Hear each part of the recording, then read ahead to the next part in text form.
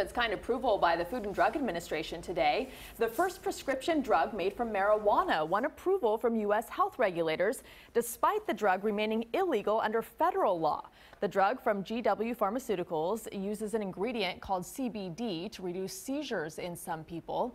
The FDA says it reduces seizures when combined with older epilepsy drugs. The hope of many who support medical marijuana is that the approval will lead to more research.